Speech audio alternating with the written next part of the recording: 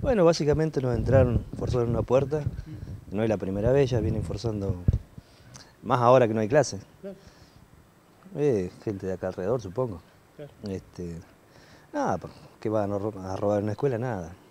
Forzaron una puerta de un kiosco, dos o tres paquetes de galletitas, qué sé yo, nada. Ah, hicieron destrozos en el kiosco, revolvieron. Sí, sí, sí.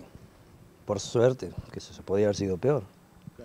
Eh, la policía no, eh, no le sonó la alarma. Aparentemente estamos sin, sin línea telefónica. Claro, porque hay un sistema de alarma, hay un sistema de alarma. Sí, sí, sí. Lo que no tenemos es sereno, que sería fundamental.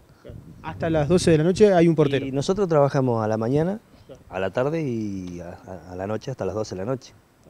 Pero después ya en la noche no hay nadie. ¿Y en los anteriores robos cómo, cómo habían sido? Y más o menos parecido, parecido, sí. sí. Tenemos muchas puertas, ¿ves? Eh, hace 15, 20 días entraron por ahí. Ahora entraron por acá. Ayer forzaron otra. ¿Y usted qué cree? ¿Que hayan cortado los cables del teléfono arriba? Aparentemente sí, porque, por ejemplo, ayer nos estuvo llamando la directora toda la mañana y el teléfono acá no sonó. Eh, después nos comunicamos por celulares, pero, pero eh, digamos, el sistema de alarma está conectado a la línea telefónica. Si no tenemos línea, no tenemos alarma. Eh, ya nos comunicamos con la directora, irá a venir la gente del consejo, no sé. ¿Y qué, qué piensa? Y como pensar, digamos, te da mucha bronca. eh, yo soy parte de esta comunidad, digamos, ¿entendés? Aunque no vivo acá, yo me siento parte de esto y es como mi casa.